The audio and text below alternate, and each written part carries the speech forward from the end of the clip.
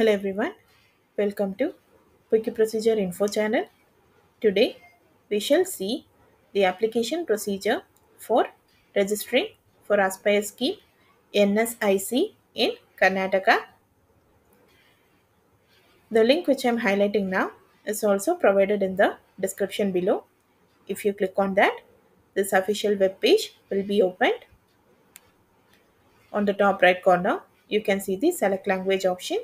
If you click on that, the list of language options for this procedure will be shown. You can choose any desired language as per your convenience.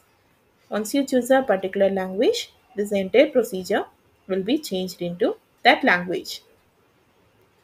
This procedure can either be applied online or applied by mail. For applying online, you'll have to click on the link over here. It will lead to the official website where you can apply. Select the business uh, incubator category here. Select the agency as government or private.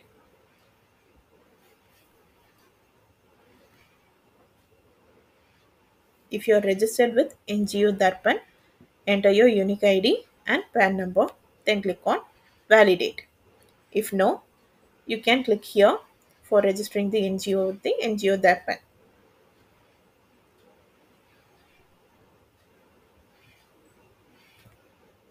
And click on validate button.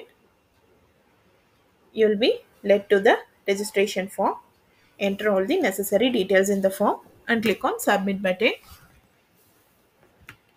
And you'll have to upload digital copies of necessary documents as mentioned under the required document section of this page. Once the prescribed amount mentioned in the site is popped up, you'll have to pay the amount online using the payment gateway option provided there. Then click on the submit button. Once the payment is completed, you will be receiving the acknowledgement online regarding the process completion. You'll also receive an SMS notification regarding the process later on. Once the sanction is done, the prospective beneficiary will be required to sign the agreement with the Ministry of MSME. Once the signing is done, NSIC and Ministry of MSME will disburse the assistance for the unit provider that is security in the form of bank guarantee from approved or nationalized banks is furnished by the applicant. Once all the process gets completed, the applicant can get a call from the office. The processing time for this procedure is 1 to 3 months. While visiting the office, the applicant will have to have the original documents with them. You can also apply by mail for this procedure. Under the required document section, you can find the documents needed for this procedure, which are completed application form.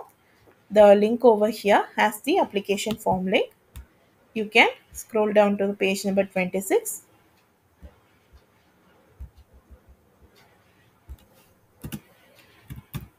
You can download it and print it out for your reference. You can also fill it up and uh, while visiting the office. Business license is needed, center license, PAN card, statement highlighting the requirement for LBI is needed, proposed interventions to address the that are needed, plan of action, proposed output outcome, impact investigated, qualitative and quantitative. Under the office location and contacts, you can find the office address, headquarters. Uh, you can um, mail them by the email ID provided here. As per the eligibility, any agency or institution of the government of India or state government or any existing trainee centers under ministries or departments of the government of India or state government, industry associations and academic institutions are eligible for this procedure. Any entrepreneur who intends to set up uh, set up the startups are eligible. It is not for profit uh, private institutions with experience in successfully executing incubation or skill development programs are also eligible. Any technical or university or research institute, including those in the field of rural and agro-based industry, are eligible. All MSMEs with entrepreneurs memorandum registration are eligible. Any institute or agency under the Government of India or any state government in the field of technology, business management, rural development, and entrepreneur development, or anybody corporate under public private partnership mode can set up livelihood business incubation. Any existing incubation centers operating under different ministries and departments of Government of India and institutions which include national or regional level institution of Government of India or any state government for setting up centers are also eligible. The application for the scheme has to be submitted to the Aspire Scheme Steering Committee of the Ministry of MSME. As per the fee, the applicant will have to pay the fee as requested by concerned authorities. That's all for this procedure. If you found it informative, please like, share, and subscribe to this channel.